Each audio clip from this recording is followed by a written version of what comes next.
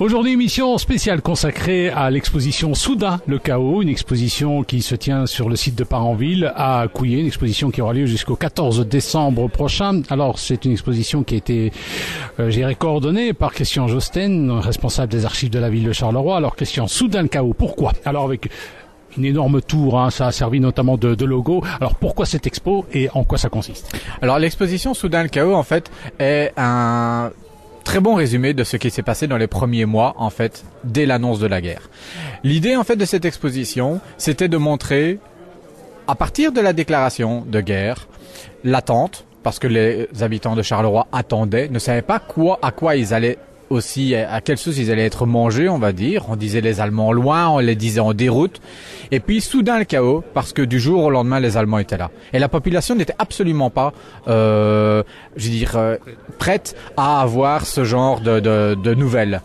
Et soudain le chaos, c'est aussi toutes les questions que les privés se sont posées, à savoir est-ce qu'on doit partir, est-ce qu'on doit abandonner la maison, est-ce que je vais au travail? On a ressorti des archives de la ville, puisque là-bas ce sont les archives de la ville et quelques carnets détenus par des collectionneurs particuliers de souvenirs. On a vraiment fait ressortir la vie de ces gens-là dans ces journées terribles du mois d'août 14. Nous sommes avec Christian Josten, le responsable des archives de la ville de Charleroi, coordinateur de l'exposition Soudain Chaos qui se déroule jusqu'au 14 décembre ici sur le site de Paranville. Alors Christian, est, évidemment cette exposition est liée au, traité de Couillet, ce fameux traité de Couillet que les Allemands ont imposé aux autorités euh, Carolo. Oui, tout à fait. Alors donc le 23, ce qui se passe, c'est que le 23 au matin, la ville est en cendres. Émile Devreux se rend compte que ça ne peut pas continuer. Émile Devreux qui est le bourgmestre Émile Devreux, donc en fait qui était le bourgmestre en 1914, se rend compte que ça ne peut pas continuer comme ça. On lui annonce que les canons sont toujours braqués sur Charleroi, des hauteurs du Fiesto, donc des hauteurs de Paranville. Et là, il décide, avec Émile Bouisset et d'autres, d'aller voir les Allemands et de leur dire stop. Ils arrivent jusqu'ici, c'est déjà toute une expédition pour passer les barrages des troupes allemandes. Ils arrivent ici, et en fait là, les Allemands exigent une rançon, une rançon de 10 millions de francs à l'époque, ce qui était énorme, plus toute une série de marchandises. Au total, ça fait à peu près 180 tonnes. Des véhicules, le dépôt d'armes. Tout ça devait être donné aux Allemands et surtout, c'était dans la journée. Émile devrait essayer de parlementer, c'était pas possible. Les Allemands ont dit c'est ça ou on réduit la ville à 100. Et donc, Émile Devreux va accepter, va signer le traité de Couillet, qui est la reddition de la ville de Charleroi, et pendant cette journée du 23 août, toute l'autorité communale va essayer de pouvoir sauver les meubles en disant aux gens amenez-nous tout ce que vous pouvez, nous avons une rançon à payer. En ça, cette journée-là est symbolique de la défaite de Charleroi, mais surtout de tous les malheurs qui vont arriver par après.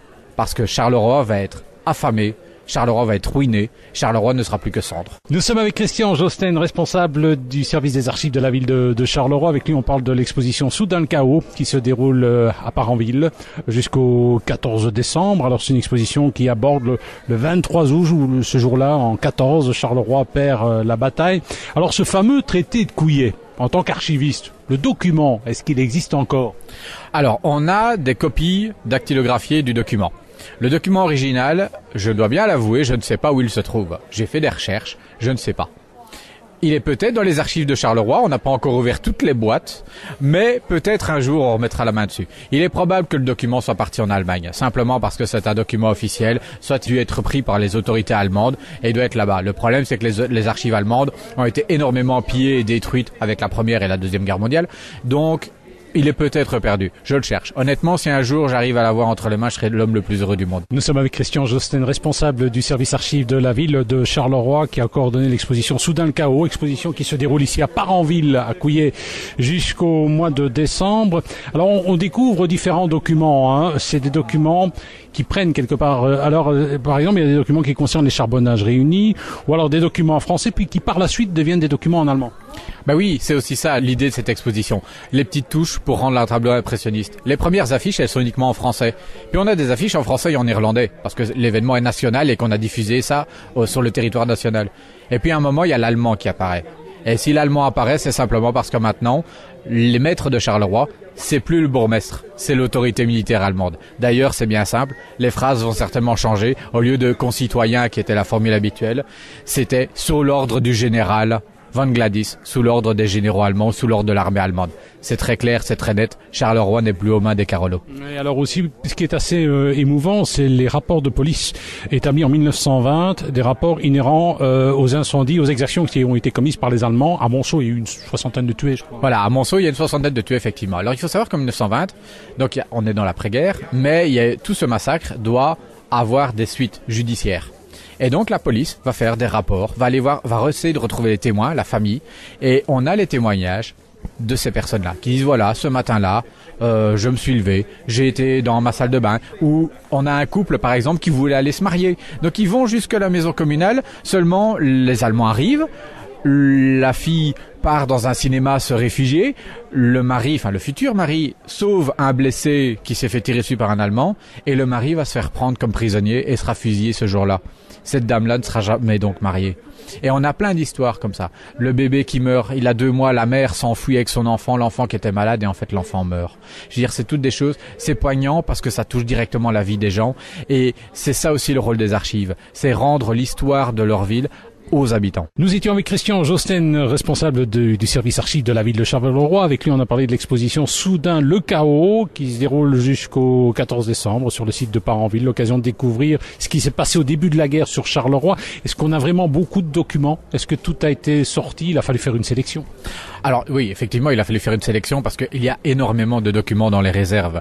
Le fonds historique représente à peu près 150-200 euh, boîtes d'archives. On a là-dedans des affiches, des registres. On en a une infime partie ici dans l'exposition. On pouvait pas tout montrer, vous le comprenez aisément mais euh, on retrouve encore des documents. Il faut savoir que les archives de Charleroi ne sont pas encore complètement triées. Il y a encore pas mal d'archives, que ce soit dans les maisons communales, que ce soit dans des bâtiments anciens, dans des services. Et donc au fur et à mesure, on reprend ces archives et on les préserve, on conserve l'histoire de la ville de Charleroi aussi.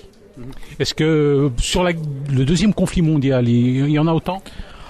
Oui, en fait, il y a des archives on va dire ici c'est un fonds historique. Donc c'est vraiment les archives qu'on classe comme historiques. Maintenant on a aussi tous les documents qui sont liés au fonctionnement de la ville, c'est-à-dire les budgets, c'est-à-dire les décisions de collège conseil. La, gestion de la ville a continué. Ah tout à fait, la ville a continué à fonctionner tant bien que mal au fur et à mesure, mais la ville a essayé vraiment que ce soit lors du premier conflit, lors du deuxième, de rendre les services qu'elle donnait déjà avant.